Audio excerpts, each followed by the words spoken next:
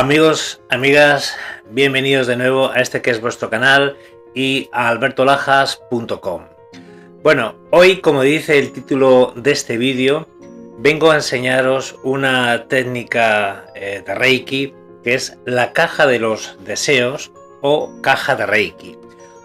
Hoy vas a aprender algo sencillo pero poderoso que suelen aprender mis alumnos en segundo de Reiki. Obviamente sería idóneo, sería maravilloso que pudieras formarte en Reiki, pero en principio Dios nos ha dado los medios, los símbolos, todas las herramientas para que podamos ser felices y salir adelante. Por ello, como digo, aunque esta caja de Reiki es un elemento que se aconseja hacer a un estudiante del segundo nivel de Reiki, en principio, y si Dios lo permite, y así será, también puedes hacerlo tú. Bien, si tienes un problema que hace tiempo no puedes solucionar, no acabas de encontrar trabajo o tienes pronto un proceso judicial eh, que tienes miedo de que quizá no salga como tú quieres por la complejidad o quizá tienes eh, algún asunto, el que sea, que no se acaba de solucionar, pues vas a buscar la ayuda de la caja de Reiki. Los elementos que vas a necesitar, obviamente, una caja de madera. Eh, esta la he hecho yo, pero bueno, la puedes comprar. Eh, lo propio es que la personalices. Yo la he pintado, la he puesto eh, un fondo de terciopelo azul, en fin. Lo primero que vas a necesitar es una caja. Y después la puedes poner también bonito como he hecho yo. Vamos a utilizar uno de los símbolos del Reiki, que es el Chokurei vas a coger una cartulina como he hecho yo y vas a dibujar el Chokurei y a escribir Chokurei. El Chokurei es uno de los símbolos más poderosos y con los que se pueden hacer muchas cosas, incluida la, la caja de los deseos. El Chokurei se llama también el activador. Chokurei significa en japonés, más o menos, Dios está aquí o el poder de Dios está conmigo. Eh, activar Chokurei en una caja o cuando la trazamos en un paciente, significa invocar el poder de Dios, que es el que vamos a invocar en esta caja. Bien, una vez que tengas tu caja y la hayas pintado y adornado, la hayas personalizado, la hayas hecho tuya, que no tenga ningún símbolo de publicidad ni nada externo, yo he dibujado aquí eh, un tetragrammaton, pero tú puedes poner lo que quieras, la tienes que personalizar. Bien, una vez que tengas tu caja, antes de activarla, porque hay que activarla, tienes que escribir una carta al universo. Puedes llamarle Dios, puedes llamarle mente universal, padre, como tú quieras. Eh, va a llegar igual. Tienes que escribir de una forma clara y nítida el problema que realmente tienes, pero tú no pongas la solución, porque es el universo el que dará la solución apropiada.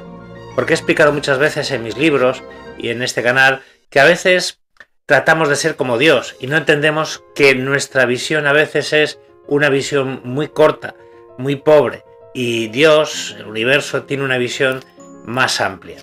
Por ello, expon tu problema, cómo te está afectando, eh, a qué aspectos de tu vida está afectando y a quiénes más puede estar afectando y por qué sería bueno que esto se solucionara. Todo lo que pidas que sea siempre para el mejor y mayor beneficio de todos.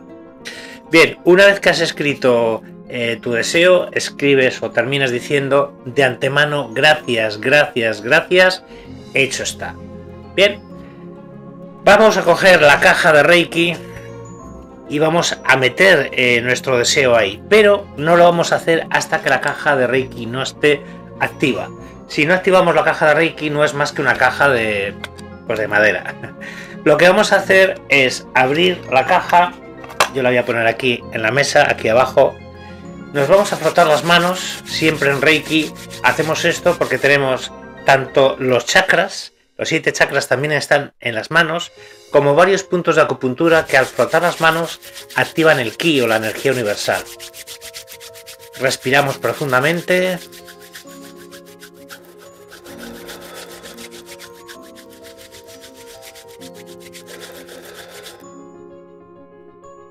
Y ahora con el dedo derecho, si eres diestro, vamos a trazar el símbolo Chokurei, a la vez que pronunciamos el mantra Chokurei. Chokurei. Una vez más. Chokurei. Y una vez más. Chokurei.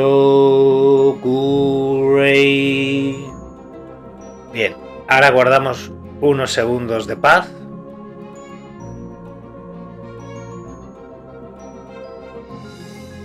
Y con los ojos cerrados dirigimos nuestras manos hacia la caja abierta, a nuestra caja, y visualizamos como de nuestras manos sale una energía que puede ser de color blanco, azul, rosáceo, y sentimos como esa energía está entrando en la caja de Reiki.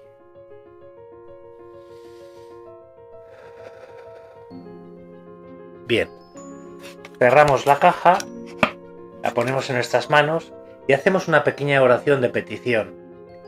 Padre, universo, te ruego, te pido que bendigas esta caja y la llenes de tu luz y que todo lo que aquí entre sea siempre para tu santa voluntad y para el mejor y mayor beneficio de todos. Amén. Una vez que has hecho esto, la caja está activa. Vamos a meter dentro el papelito y en este caso podemos meter algún cristal. Yo voy a meter un mercaba, un mercaba, eh, que en este caso es de la piedra eh, ojo de tigre. Y también voy a meter una pirámide de cuarzo. Una pirámide de cuarzo encima del papel. ¿Vale? Eh, lo de las piedras no es obligatorio, pero sí es aconsejable porque las piedras, los cuarzos, potencian, digamos, la energía Reiki. Bien, cerramos la caja y lo que hacemos es desde el momento que tú has puesto tu problema en Dios, que esta caja representa a Dios, deja de pensar en el problema, piensa en él como solucionado, siente que ya no hay nada por qué preocuparse. Porque si sigues preocupándote una vez de haber puesto ahí tu problema en la caja de Reiki, pues no habrá servido de nada. Es decir, la fe del tamaño de un grano de mostaza, como dijo Jesús, es muy importante para todas las cosas que hacemos en espiritualidad.